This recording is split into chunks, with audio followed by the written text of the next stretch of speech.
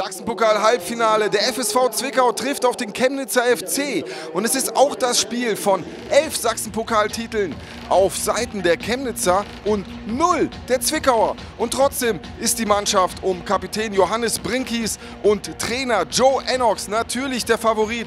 Gerade eben haben sie den Klassenerhalt in Liga 3 zustande gebracht und wollen jetzt endlich mal Sachsenpokalsieger werden und hinein ins Spiel. Die Gäste von Beginn an die druckvollere Mannschaft. Morris Schröter setzt sich gewohnt stark außen durch und Yannick Möker schießt daneben. Den muss er doch machen nach drei Minuten. Komplett frei vor Jakubow. Macht er nicht. Und auch die Chemnitzer verstecken sich nicht. Felix Schimmel legt den Ball unfreiwillig sich selber vor und trifft dann die Latte. Johannes Brinkis vielleicht noch mit den Fingerspitzen dran. Klasse Aktion, klasse Spiel und weiter geht's. Can Koskun. Wunderbare Chipflanke in den Lauf von Felix Trinkhut. Kopfball von Schröter an die Latte. Und dann ist der Ball weg. Buh. Da muss selbst ich mal durchschnaufen und die Chemnitz Ultras, die Fans, die wieder draußen ihre Mannschaft unterstützen, können gar nicht genug von diesem Spiel bekommen. Wieder der sehr starke Drinkhut.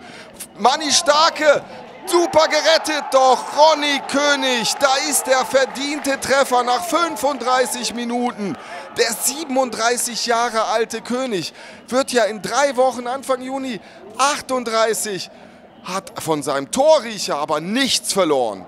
Er hat übrigens auch mal ein Jahr in Chemnitz gespielt. Das war nicht so erfolgreich. Und dann Christian Bickel, den kennen Sie, Torschütze, Tor des Monats im Oktober, findet in Johannes Brinkis seinen Meister. Klasse gehalten, klasse geschossen. Wildes Spiel und weiter geht's. Ecke von Koskun. Yannick Möker kommt an den Ball, Nein, doch nicht. Es geht hin und her. Gewusel im Strafraum. Und dann ist wieder Möker da. Möker legt sich den Ball vor und Jovan Vidovic trifft ihn, trifft den Ball.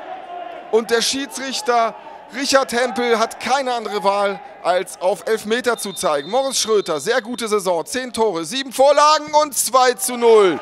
Souverän rechts unten. Keine Chance für Jakub Jakubow. Klasse. Kurz vor dem Halbzeitpfiff das 2 zu 0. Na, das muss dem Favoriten doch richtig, richtig Volldampf geben. Zweite Hälfte, Ecke Bickel, kurz ausgeführt. Nils Köhler passt in die Mitte und Tim Kampulka und schauen sich Berlinski an. Ja, ja, es bringt was, von außen anzufeuern. Schönes Tor. Zwickau schläft zu Beginn der zweiten Hälfte und gerät schnell unter Druck. Doch Chemnitz kriegt das nicht hin. Was ist denn das? Lukas Eigner. Er noch mit dem Siegkopfball gegen Auerbach sorgt hier beinahe für die Entscheidung. Jakub Jakubow tobt, hält den Ball aber noch rechtzeitig vor der Linie. Und dann, wie soll es anders sein, ein Freistoß. Ricardo Grimm und Tobias Müller. Gibt's denn das? Der Außenseiter, der Regionalligist, trifft zum Ausgleich. 79. Minute, alles wieder offen. Verlängerung, Elfmeterschießen, alles möglich in diesem klasse Halbfinale. Und die Chemnitzer, die können gar nicht mehr aufhören. Felix Schimmel. Schimmel setzt sich außen durch und findet den Theo Okbidi. Was ist denn das für ein Typ? Was hat denn der für Eier? Nimmt den Ball mit links hoch, dreht sich um die eigene Achse und versenkt ihn dann. Den wollte er genau so machen. Die Zwickauer können es nicht passen. Gucken sich das an nimmt ihn sich mit rechts hoch. Mit links macht er ihn rein. Keine Chance für Johannes Brinkies. 3 zu 2 für den Außenseiter nach 0-2 Halbzeitrückstand.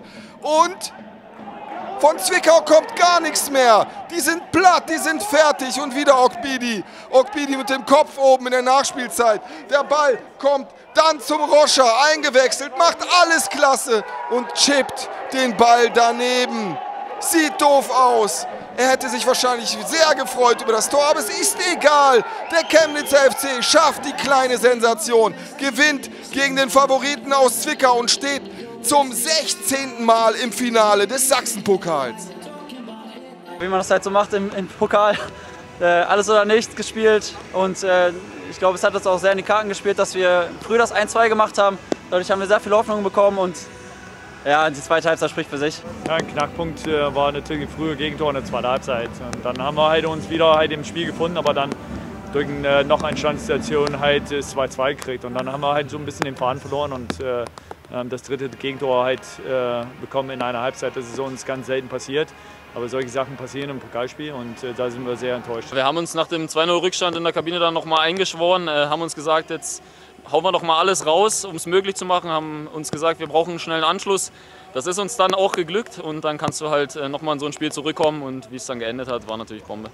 Ja, Bombe wird auch die Party der Chemnitzer und jetzt drücken sie alle Dynamo Dresden die Daumen, dass die gegen Lok Leipzig das andere Halbfinale gewinnen. Denn dann wäre Chemnitz sicher im DFB-Pokal.